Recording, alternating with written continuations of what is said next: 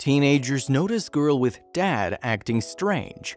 They follow her because they knew something's wrong.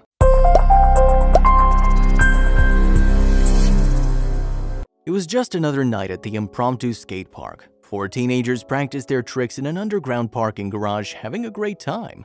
It was getting late though, and the four Canadian boys would soon need to be heading home. However, as they emerged from the underground parking lot, they were stopped by a suspicious sight outside. A clearly upset young girl and two much older men were making their way over the grass towards the parking garage. One of the men was being quite forceful with a disorderly teenager. At first, he was walking behind her, but then he seemed to realize they had company. That alone wasn't quite enough to arouse suspicion until they noticed something else about the girl. According to one of the skateboarders, she was screaming and yelling, Carson Wright said. She just wanted to be out of there. That in itself was enough to arouse suspicion in the boys' hearts. The four teenagers turned their attention to the men and confronted them for an explanation. What was going on here? The larger of the two men explained to the concerned boys that he was her father. Assuming maybe he'd found her drinking at too early an age or something similar, the boys backed off. The woman didn't ask for help nor did she contradict the man's words, so they let it go. Something didn't feel right though. It was getting late in Calgary and the boys would need to head home. Packing up their skateboards and reservations, they started heading back. It was easier to believe the man. After all, the girl hadn't disagreed with him, but they just couldn't shake the feeling that something was off. It was true the girl seemed intoxicated, but the more boys thought about it, the more uneasy they became. Should they have backed down so quickly? The man who'd claimed to be her father seemed extremely confident, arrogant even. Would a father act that way? Then an unsettling detail dawned on them that made them question everything. She was all scuffed up and dirty, Carson remembers. She looked like she'd been struggling against the man for a while. Then, as if putting an end to the conversation, the man had hoisted her up over his shoulder like a bag of potatoes, but she was still trying to resist. Every instinct in the boys screamed at them to go back. They'd never forgive themselves if they didn't. The more they thought about it, the more they knew that something just wasn't right. Were they sure the three knew each other? And what were they doing waiting outside the parking lot at that hour?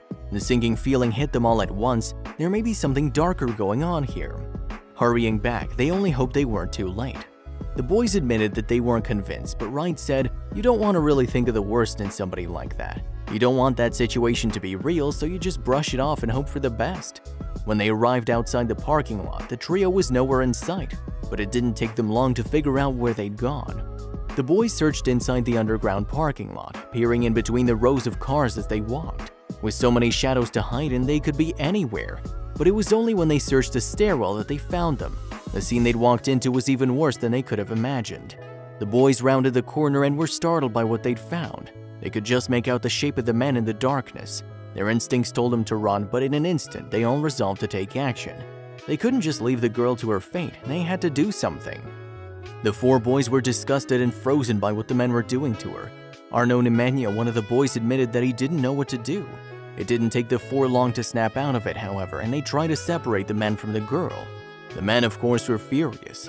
The taller man thwarted tried to leave the situation altogether, wash his hands of it.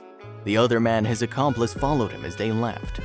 Nemenya remarked as they followed, he pushed me aggressively out of the way, kinda like just gives me the smile like, I can do this, you can't do anything about it. They couldn't stand by and let them get away with it. As the men tried to walk out, they turned to see three of the boys chasing him. One had stayed behind with a shaken girl while others had given chase. They tried to outrun them, but they were catching up fast. Determined not to let the men get away with such unspeakable cruelty, the boys sprinted on through the streets of Calgary. Suddenly, they were on them. They had nowhere left to go. With nowhere to go, the taller man decided to face the teenagers. That's when he decided to fight. He ripped a skateboard from one of the boys' hands and used it as a bludgeon, trying to push them back. He knew it was the end of the line, but he thought he could win by sheer force. Little did he know, the police were only a few feet away. Before the man could do serious harm to the boys, the police got involved and hauled him and his companion away. After the three returned, they found the girl safe and sound with the last boy, and the four went home not knowing just how grateful the city would be for their heroic efforts that evening. The teens didn't realize their ordeal wasn't over yet. They kept getting phone calls but were too afraid to answer. What if they were in trouble for fighting the man? Or worse, what if the man had somehow gotten their contact details? But the calls kept coming. They knew they had to bite the bullet and face the consequences of their actions. They couldn't run away forever. The police chief, Chief Constable Roger Chaffin, tried to call the boys, wanting to thank them for what they'd done. Unfortunately, the boys misunderstood the calls. They thought they'd get in trouble for fighting the man. Eventually, the call went through and the boys were pleasantly surprised by what they were told. The four boys were invited to attend the Chiefs Award Gala in recognition for their services to Calgary and to the young girl they'd saved. All four agreed that it's what they'd hoped anyone would have done in the same situation. Next time, they'll know to trust their instincts as much as their boards. If you'd found yourself in the same situation, would you have trusted your gut feeling or would you have walked away? What these four teens did is an incredible act of bravery and took a lot of courage. It's not easy to stand up to one adult who seems to have authority, let alone two. Who knows what would have happened to the girl if they hadn't trusted their instincts?